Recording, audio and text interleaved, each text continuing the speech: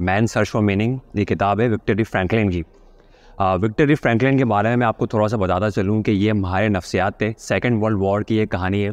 इनको नाजियों ने, यानी कि नाजी जो है वो यहूदियों को ढूंढ रहे थे। तो नाजी मुझे पकड़ने के लिए आए तो मैंने कहा कि मैं तो माहिर नफ्सियात हूँ, मैं तो डॉक्टर हूँ, मुझे को पकड़ के लेके जा रहे हो? तो उन्होंने जो है वो अपने सर्टिफिकेट दिखा दिए देखे मैं डॉक्टर हूँ। तो उन्होंने क्या किया, सर्टिफिकेट्स पे के माचे से आग लगा दिया। तो वो डिप्रेशन का आगाज़ उसी से ही, उसी वक्त से ही हो गया। मेरी इतनी मेहनत को एक झटके से उड़ा दिया गया।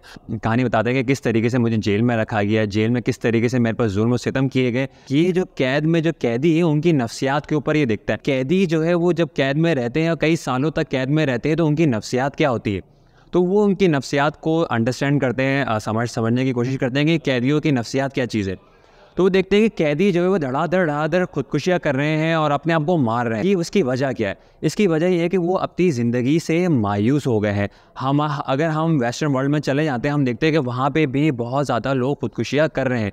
वो खुदकुशियाँ क्यों कर रहे हैं? क्योंकि उनको अपनी ज़िंदगी का मकसद ही नहीं। अभी मैं, अगर मैं यहाँ पर सब, आप लोगों से सवाल कर लूँ कि आपके ज़िंदगी का मकसद क्या है तो शायद सब तो यही कहेंगे कि मेरी ज़िंदगी का मकसद औरों के काम आना। ठीक है औरों के काम आना लेकिन अगर आपको कोई भी ऐसी बीमारी हो गई है कि आप किसी के काम आ ही नहीं सकते तब आपकी ज़िंदगी का मकसद क्या होगा? आपको जेल में दस साल की सज़ा हो गई तो अब आ, आपकी ज़िंदगी का मकसद औरों के काम आना तो नहीं होगा। तो ये किताब उसी के ऊपर है और इसके अंदर उन्होंने लोगो थेरेपी सजेस्ट की कि किस तरीके से आपको अपनी ज़िंदगी का मकसद बनाना है।